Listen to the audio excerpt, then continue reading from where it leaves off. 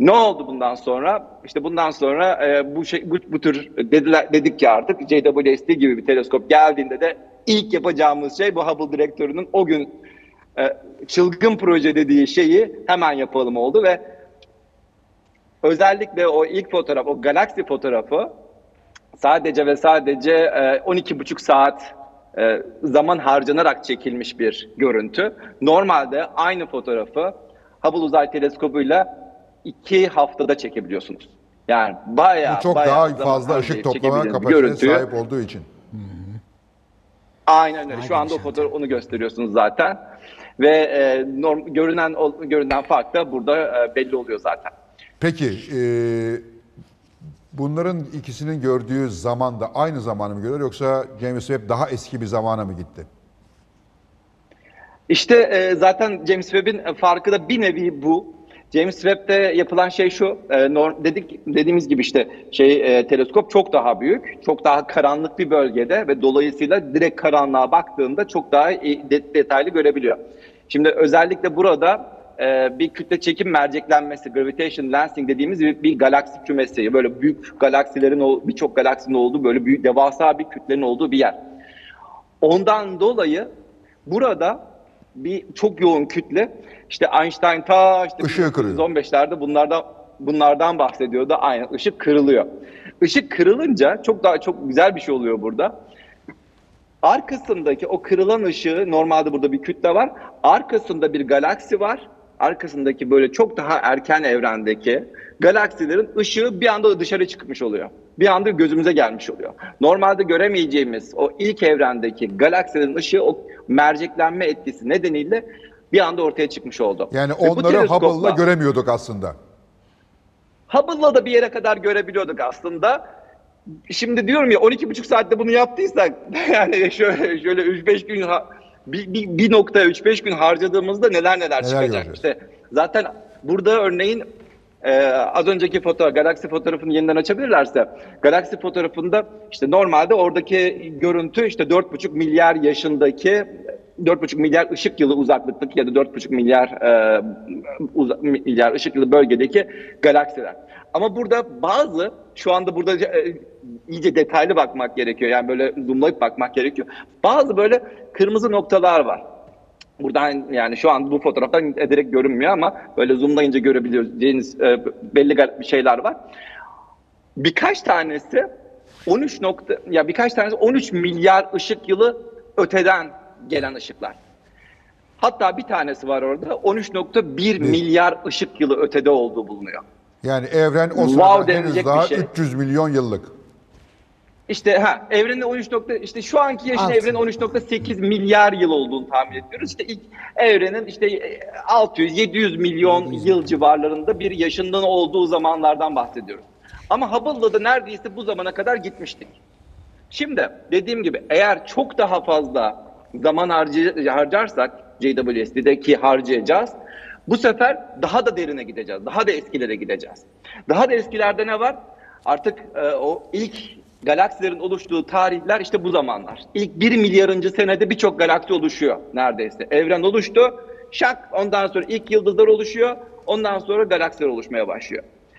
İşte biz e, orada bir tane fotoğraf var işte o yani e, onun detaylı şeyi e, aldınız mı bilmiyorum. Orada kırmızı sanki bulut gibi gözüken bir e, bir görüntü var. O görüntünün içerisinde işte e, ilk oluşan bir galaksiyi görebiliyoruz orada. Bizim galaksi. amacımız JWST'de çok daha geriye gitmek. İlk 200 milyon yıla gitmek. Ve yani ilk daha 200 daha uzun bir pozlamayla daha eskiyi görebileceğiz. e, ve ilk bu sefer ilk yıldızların oluşumunu görebileceğiz. Bırakın ilk galaksiyi bu sefer ilk yıldızların oluşumunu göreceğiz. Ve bu zaten inanılmaz bir şey. Yani bu kendimizi anlamamız açısından çok çok büyük bir olay aslında. Ee, peki büyük patlamayı görmek mümkün olacak mı?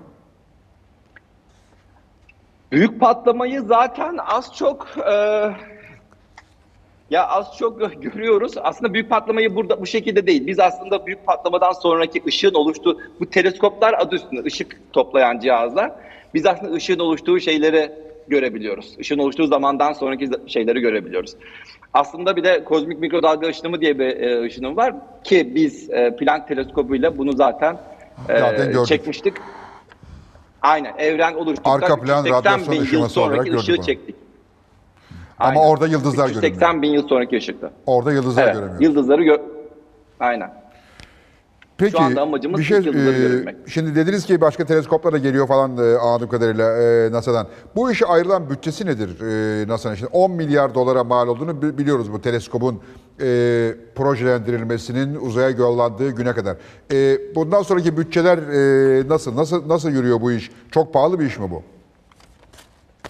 Ya tabii ki çok pahalı. Şimdi 10 milyar dolar tutacağını baştan kimse bilmiyordu. Onu baştan söyleyelim. Evet. Şöyle söyleyelim. Hatta siz de tam da aslında bir nevi bu soruyu sordunuz. JWST tamam iyi güzel hoş da ya bundan sonra hangi teleskopları yapacağız diye bir soru e, soruyorsunuz. Aynı soruyu Hubble Uzay Teleskobu fırlatıldığında da sordular. Ve dediler ki o zaman pardon Hubble Uzay Teleskobu daha fırlatılmadan 1989'da Hubble Uzay Teleskobu 90'da fırlatıldı. 1989'da ya tamam e, seneye yani e, fırlatacağız Hubble Uzay Teleskobu'nu bundan sonra ne olacak? Çünkü siz bugün karar verseniz zaten e, kongreye kabul ettirmeniz, bütçenin kabul edilmesi, oradan inşaatın sürecine başlanması, oradan uzaya gönderilmesi bilmem ne bilmem ne 10 sene 20 10 sene 15 sene 20 sene sürebiliyor. Onun için sizin çok önceden karar vermeniz gerekiyor. 89'da JWST'nin JWST'nin fikirlerine başlandı. Next Generation Space Telescope diye. Hatta bir sonraki jenerasyon uzay teleskobu artık Hubble bütün dünyayı değiştirecek. O gün de aynı cümleler söylenmişti. Hubble dünyayı değiştirecek mi? Astronomi değiştirecek mi? Değiştirdi. Yaptı bunu. O gün de 90'dan sonra da karar verdiler. Dediler ki evet JWST'yi yapalım ve 2007 yılında fırlatalım. Aslında bizim beklediğimiz tarih 2007 idi. Evet. JWST'nin fırlatılması için. Hatta e, gecikmeler oldu, projenin e, yönetiminde bazı problemler oldu. Çünkü e, şöyle düşünün, hem büyük bir proje hem e, masraflı bir proje ki o sıralar yaklaşık olarak bütçeyi 500 milyon dolar civarı vermişler. 500 milyon dolar nerede? Bugünkü fiyat nerede? Tabii araya enflasyon enflasyon falan da girebilirsiniz. Araya giren uzun yılları da girebilirsiniz ama 10 milyara tutacağını kimse o günden beklemiyor. Peki şu Ne anda onayı çıkmış sonra? başka bir proje var mı böyle? Ee, onay demeyelim de şey var. e, yapılması planlanan birkaç tane teleskop var. İşte e, LUVO diye bir teleskop var. E, Origins diye bir şey var. Habex diye bir teleskop var. Lynx diye bir teleskop var. Yani şu anda e, birkaç tane böyle projenin e, isimleri ortalıklarda geziyor. Geziyor.